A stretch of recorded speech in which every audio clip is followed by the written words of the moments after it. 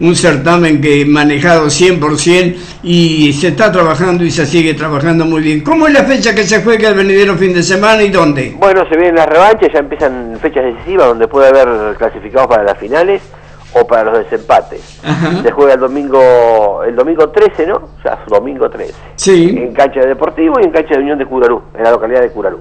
Estos partidos, ya en caso de producirse el empate en 90 minutos, es decir, eh, van a, a, a la larga y después a, a los tiros libres. No, no, no, Babi, no se resuelve, se resuelve así, esto se resuelve por puntos. A ver, Bien, el primer partido lo ganó Calavera, el segundo partido lo ganó Deportivo. ahí está. Ahora están obligados a ganar Curarú y Estudiantes, Sí. si no pasan automáticamente Calavera y Deportivo.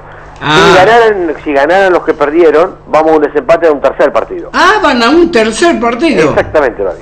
Muy bien, Así que tenemos actividad bastante, esperemos Muy- que así sea. muy ¿Eh? buena la Así que aclaración. teniendo fútbol hasta fin de año. Sí, muy buena la aclaración, Fernando. Eh, Tenemos entonces, en caso de producirse, darse vuelta los resultados de, de este domingo, vamos a un tercer partido y recién vendrían los alargues y los penales. Eh, exactamente, tercer partido que será, ya te digo, un, cancha, eh, un día domingo, no un día miércoles. Bueno, eh, Fernando, tengo los brazos cortos para darte el abrazo que te mereces.